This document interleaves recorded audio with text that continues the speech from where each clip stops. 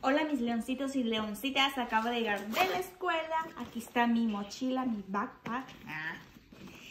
Y no saben lo que me pasó, no sé si me va a alcanzar el tiempo. Un compañero tiene su venta, es salvadoreño y él hace comida típica del Salvador. Y ayer estaba diciendo que estaba preparando tamales. Y miren, la bolsita como del Salvador. La voy a guardar.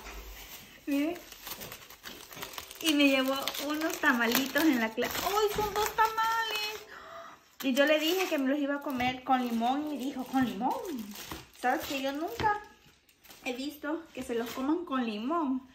Solo las personas mexicanas se comen los tamales con limón, me dijo. Ay, yo también me los como con limón. Así que aquí estoy preparando tamalito y le pongo chile Jalisco y